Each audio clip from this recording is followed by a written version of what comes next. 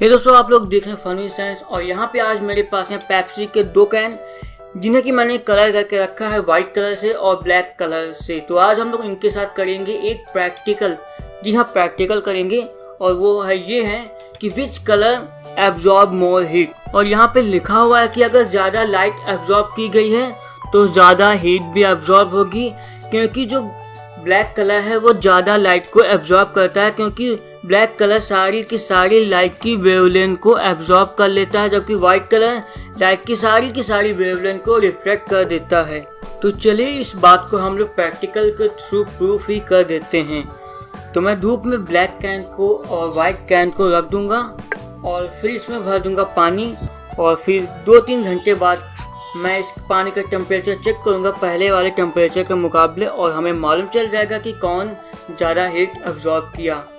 तो मैंने पानी भर दिया है। और सबसे पहले शुरुआती टेम्परेचर हम लोग नाप लेते हैं। तो इस समय वातावरण का टेम्परेचर है छत्तीस डिग्री सेल्सियस।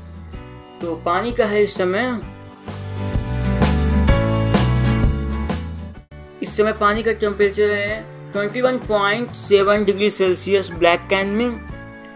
तो इसे हम लोग 22 डिग्री मान सकते हैं। और वाइट कैन के पानी का टेम्परेचर भी देख लेते हैं। वैसे है तो सेम ही पानी, लेकिन कुछ बहुत अंतर हो जाता है। तो इसका है 21.9 डिग्री सेल्सियस तो ये है इनिशियल टेम्परेचर जब मैंने प्रैक्टिकल के लिए रखा है इन दोनों कैंस को धूप में। तो चलिए, अभी का टाइम देख लेते हैं। अभी का टाइम है नौ बजकर उनचास मिनट। तो कुछ समय तक इसे धूप में पड़ा रहने देते हैं।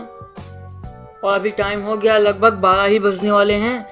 इन्हें धूप से हटा लेते हैं और इनके पानी का टेम्परेचर अलग अलग चेक कर लेते हैं। और इससे हमें मालूम चल जाएगा कि किस कैन ने ज़्यादा हीट एब्जॉर्ब की।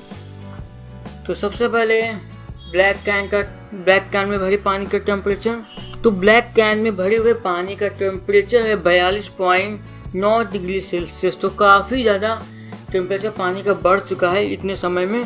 तो चलिए अब हम लोग चेक कर लेते हैं सफ़ेद कैन में भरे पानी का टेम्परेचर जो कि निकल के आया है अड़तीस पॉइंट सात डिग्री सेल्सियस। तो इस बात से प्रूफ हो जाता है कि ब्लैक कलर ही ज़्यादा हीट को एब्जॉर्ब करता है। इसी वजह से ब्लैक कलर के कैन में भरा हुआ पानी ज़्यादा गर्म हुआ। ये तो एक छोटा सा एक्सपेरिमेंट ही था। लेकिन इसके अलावा और भी बहुत सारे अमेजिंग वीडियोस देखने के लिए मेरे चैनल को सब्सक्राइब करना बिल्कुल भी मत भूलेगा। अगर आपको वीडियो पसंद आया तो वीडियो को लाइक और शेयर भी कर दीजिएगा। आपके स्क्रीन के सामने कोई एक वीडियो दिख रहा होगा, इसे भी ज़रूर देखिएगा। और अगर सब्सक्राइब कर लिया तो बेल आइकन को भी दबा दीजिएगा।